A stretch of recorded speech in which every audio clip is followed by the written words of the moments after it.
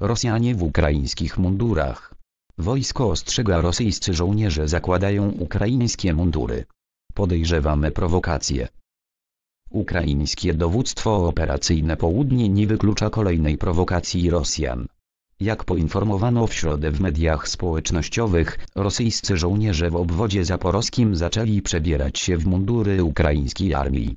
Zdaniem wojskowych takie działanie może mieć na celu zdyskredytowanie sił ukraińskich.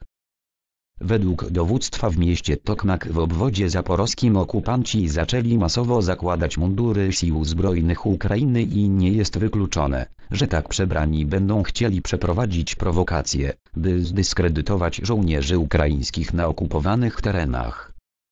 Tymczasem dzięki działaniom naszych mobilnych grup przeciwczołgowych zapewniono kontrolę nad terytorium czterech miejscowości w pobliżu granicy administracyjnej obwodu mikołajowskiego i hersońskiego, dodano. Jak podkreślono, okręty floty czarnomorskiej są w gotowości do ataków rakietowych na terytorium Ukrainy.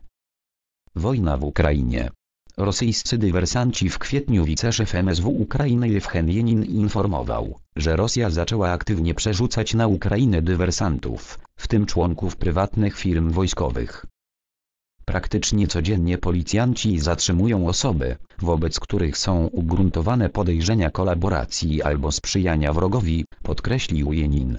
Poinformował, że niedawno w obwodzie dniepropietrowskim na południowym wschodzie Ukrainy zatrzymano czterech możliwych dywersantów.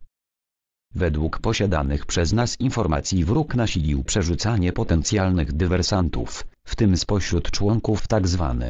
prywatnych firm wojskowych, na terytorium Ukrainy w celu przeprowadzenia dywersji i ataków terrorystycznych, przekazał wiceminister i zaapelował do Ukraińców o czujność. Działania dywersyjne wymierzone w cywilów z kolei na początku maja Służba Bezpieczeństwa Ukrainy informowała o zatrzymaniu grupy dywersyjno-zwiadowczej, która chciała zestrzelić samolot pasażerki na terenie Rosji lub Białorusi. Winą za atak planowano obarczyć stronę ukraińską. Okupanci zamierzali bezpodstawnie oskarżyć Ukrainę i naszych partnerów o atak na samolot.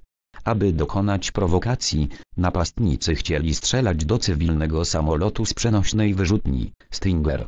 Aby ją ukraść i potajemnie wywieźć za granicę, przedstawiciele służb specjalnych kraju agresora zlecili swojej grupie zwiadowczej wykonanie odpowiedniego zadania.